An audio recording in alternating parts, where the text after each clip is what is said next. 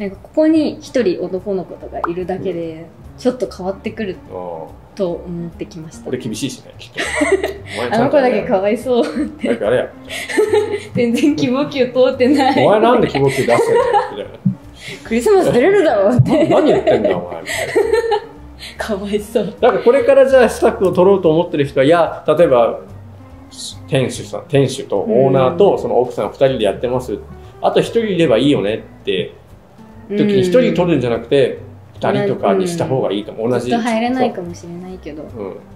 うん。うん。だってその人その人いつ毎日入れますっていう人だってなんか休みたい人が出てくるわけじゃん。うん。その時に休みたいんですけどっていうぐらいだったら、まあ、週3週4出たいんです。週週6の人を1人取るよりも週3の人2人って考えた方が結果的には中継ぎしてくれるかシフト融通聞くってなったらちょっと魅力感じますかね。まかないあるなしとかまかない美味しいとかいうよりも断然そっちの方が。絶対この後はハルフィンにも聞くことになるハルフィンは絶対にまかないっていうの絶対に。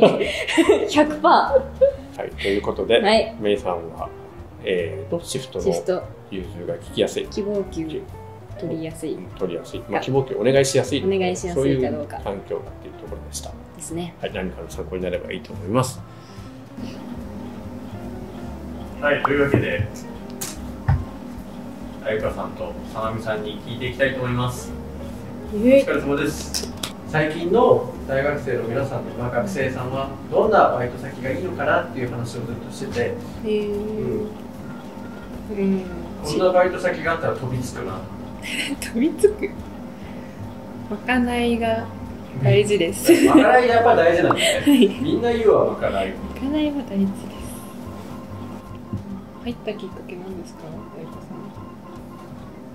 ん。えっとそれこそなんかあの寮にいたから寮のなんか先輩の先輩がさやかさんだええそうそれでなんか本当にバイトどこでもいいんでお願いなんか先輩決めてくださいみたいな感じで言ってたら、なんかそれさやかさん見つけてって言ってたよって言って話聞くとくわって言われてなんか本当に何も考えずとりあえずバイトしたいだけでここに来たんだよ。ねへえだから本当に当たりなんかただ単に。奇跡。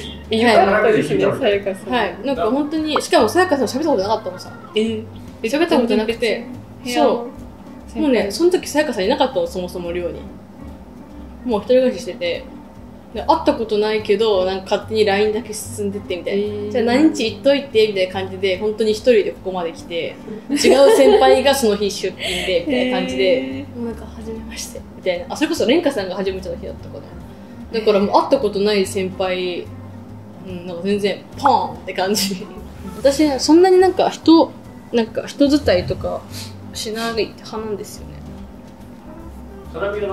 ここのきっかけなんだ誰つながりか私メイさんです。ああメイさん。あそうだメイさんがバイト探してないって言われてその時ちょうど探してたので探してますって言ってなんたらかんたらしたらもういました。あれご飯食べに行っちゃうんだっけ？そうだよね。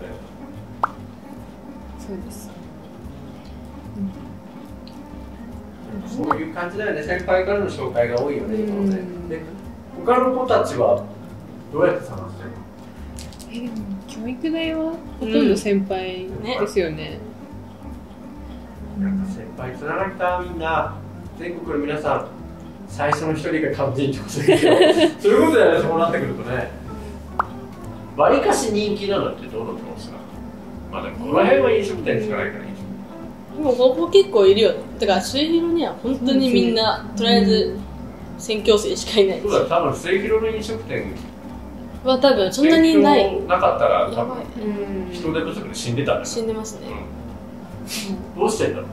確かに。だからコロナの時期とか選挙でバイト禁止みたいな。だったよね。あーね。その時大変だった。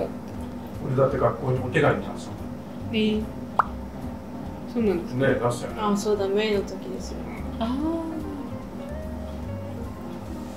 でも個人経営のお店ってよくないですか？よくないよくないね。いい。良い。いいって言いまなんでなんで？えなんかチェーン店よりも個人経営の方がなんか優しい気がします。なんかマニュアルがないっていうかさそのなんかもう全国共通でこれを教えなきゃいけないっていうのがあるからさしかもそこの社員さんとかがそういうことを教えるってなんかもう決まってるからなんていうの？なんだろうそこにもう働いちゃってるっていうか就職してるからこそそのことを守んなきゃいけないっていう義務があるじゃん。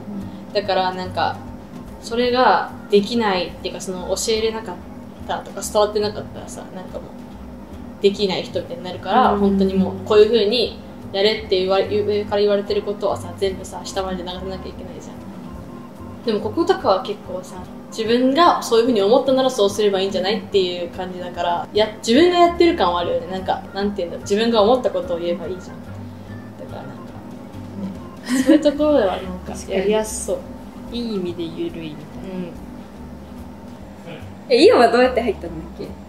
あゆかさんの紹介で。あゆかか。なんかあゆかさんの友達から LINE でなんか掛け持ちとか考えたらいいって。そうだそうだ。本当にちょうど考えてて、うんうんうん。考えてますって言って。言って連絡先もらって、うんうんうん。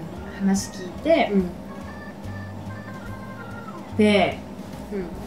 なんか同じ末広だけどやっぱ居酒屋とは違うじゃないですか、うんうん綺麗だったのでうん。お店が？はい。であとうん。なんか人もめっちゃいいってああじゃあ職場環境ってこと？はい。仲がいい方がいいかなみたいな。仲いい方がいいです。それはどうして？仲いい楽しそうみたいああそうです。な働いてて楽しいかなみたいはい。なんかいやーやっぱ仲悪くなったら辛いじゃないですか。気まずいよね、はい。確かに。それはなんか同じ学生同士だからこそみたいな学生みんな大学生じゃん。同じあ大学の。そういうのはあんまり関係ない。あんまり関係ないです。シェフとはシェフとも仲良くなりたいなみたいな。はい